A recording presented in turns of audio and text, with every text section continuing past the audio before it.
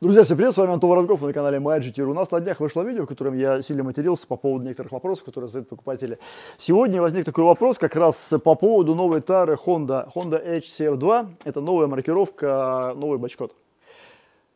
Напомню еще раз, что бачкод на японской таре, верхней ее части наносится, ну и нижней тоже наносится не для покупателей, не для вас. Он наносится для логиста, для того, чтобы логисты могли понять, где был сделан продукт, на какой линии, вернее, какая смена была сделана, там для, ну и в том числе для, для арбитража, в том числе это делается, как перемещать его, как хранить и так далее у себя на складах.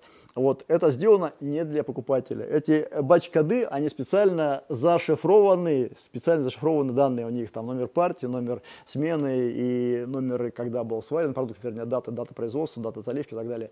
Некоторые вещи, которые мы с вами очень сильно любим расшифровывать. Это тоже национальная российская наша с вами забава. В общем, это все сделано не для покупателей, а сделано все это для логистов. Поэтому я всегда, всегда настоятельно советую вообще не смотреть на бачкод, который указан на верхней части упаковки 4-литровой японской тары, литровой тоже в том числе. На нижней части банки на четырешке есть э, клеймо производителя тары, Nagao Sekan оно остается неизменным, и его способ маркировки и зашифрованные данные в течение уже лет так так, ну, 10 минимум. Поэтому на нее ориентироваться можно. Это дата, когда была сделана металлическая тара. Наносится только на 4-литровые канистры. Давайте сейчас покажу вам еще раз. У меня гайд с полной расшифровкой. Я в описании к этому видео еще размещу расшифровку, чтобы вам там не искать долго. Там будет расшифровка полная по дате производства тара. Здесь у нас конкретно первая цифра 3 это год, соответственно, год 2023, потом идет 2 э, ноля, это, соответственно, 0, вернее, идет, это получается у нас октябрь, 10 месяц маркируется так, и 6 число. То есть а, в 2023 году была сделана тара в октябре 6 числа. А розлив тары сделан э, следующим образом. Я сейчас расскажу. Вот опять же тоже делают ту, ту же самую ошибку, потом люди начнут там все это разбираться в этом. Короче, смотрите, здесь э, указано уже в европейском стандарте 23 год, 10 месяц, э, октябрь, соответственно, 11 число. С момента производства тары до момента розлива прошел у нас, э, сколько прошло у нас? 6, 11, 5, 5 дней. Что в пределах разумного. А вот еще раз, Прям настоятельно, настоятельно советую. Вообще просто забудьте эту маркировку на верхней части банки, выкиньте ее из головы. Про хранение продукта можете отталкиваться от даты, указанной на нижней части банки, потому что а, здесь дата указана и с ее момента производства товара до момента розлива, как правило, уже по нашему опыту за последние 16 лет происходит примерно розлив в течение 3-4 дней от 0 дней максимально доходило до 30, когда были ковидные времена, когда были локдауны, когда там люди стояли, предприятия. Вот. Ну, в среднем примерно 3-4, там 5-6 дней примерно, это нормально. Вот, от 0 дней тоже, потому что завод Нагаус и Канна, два завода у них находятся достаточно далеко от предприятий, которые производят непосредственно продукты, это примерно около, ну, там, от 500 там, до 800 километров. Это все с утра выезжает машина, вечером уже приезжает, и все это уже упаковывается. А вот э, так вот такая ситуация. Поэтому эту маркировку я вам рассказал, эту тайну.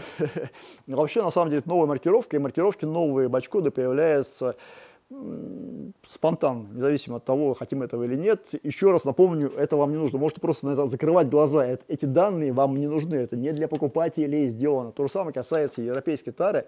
Даты производства и даты хранения. Самый популярный вопрос, сколько можно хранить моторы, трансмиссионные масла.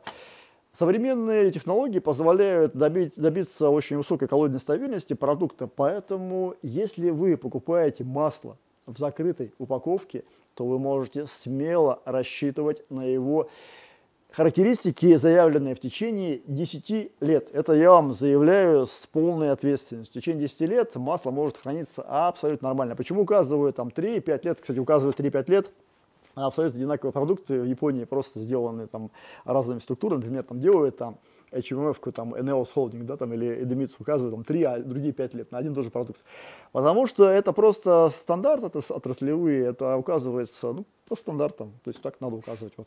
Вот. А как на самом деле дело обстоит? Дело обстоит так, что в течение 10 лет э, при таре закрытой храниться может продукт абсолютно нормально. И при этом температурный режим, но если там не до абсурда не доводить, если он не будет стоять там на какой-нибудь там э, крыше дома там под палящим солнцем все время, как бы, если не доводить до абсурда, если хранить его там в закрытой таре и в помещении, в темном, вот, не без доступа влаги, если у него дождь не будет постоянно литься и так далее, то ничего с ним не будет. Если будет э, попадание небольшой влаги, внутрь продукта, это проблема большая на самом деле, потому что они очень подвержены тогда, получается, химической деградации, продукты любые абсолютно сваренные по современным, современных базах, если в них попадает вода. Поэтому, если вода не попадает, если продукт хранится в сухом помещении, то вообще ничего с ним не будет. 10 лет можете смело использовать. Даже не задавайте такие вопросы. Мне постоянно эти вопросы, они уже, честно говоря, под...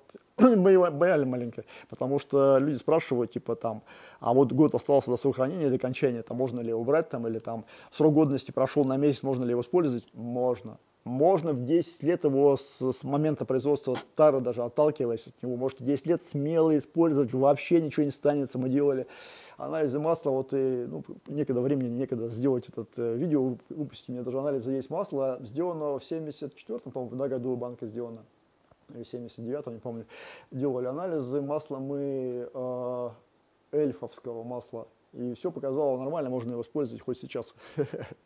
Так что а, вот эта тара я вам показал, вот эту маркировку эту, блин, забудьте про нее, не обращайте на нее внимания, просто если у кого-то возникают вопросы такие, а у нас есть любители, которые хотят поиграть в мистера Энигму, мистер Вопрос, мистер Квест, разгадать все, ребусы, когда едут на дачу, там эту банку рассматривать, чтобы вместо кроссворда, например.